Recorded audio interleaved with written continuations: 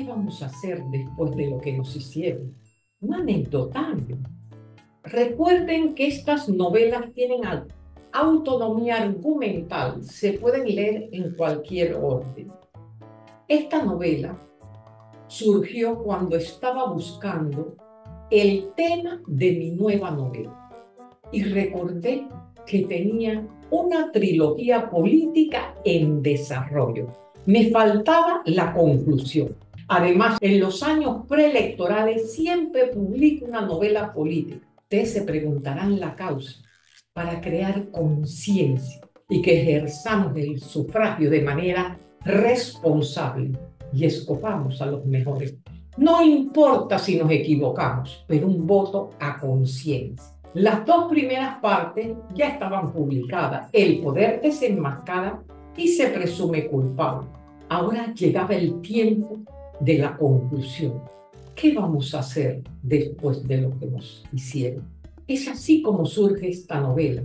El título llegó como un flechazo. Leí de corrido las dos novelas anteriores y al concluir su lectura me coloqué en la piel de los personajes y medité.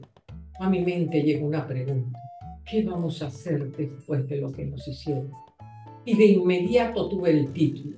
Cuando redactaba la novela, llega una parte donde Roxana visita a sus vecinos, toca la puerta de la casa y me imaginé la escena de quién abría la puerta.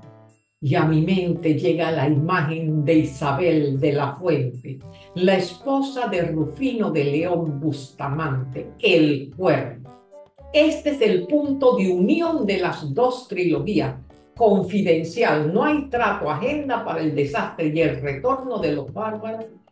Con la trilogía culpable, el poder desenmascara se presume culpable y qué vamos a hacer después de lo que nos hicieron. Son tres personajes de la trilogía anterior, Rufino de León Bustamante, Isabel de la Fuente y Sara Ortiz, que enriquecen la temática de mi nueva novela. ¿Qué vamos a hacer después de lo que nos hicieron? De esa manera tengo una saga política de seis novelas. Gracias, un fuerte abrazo.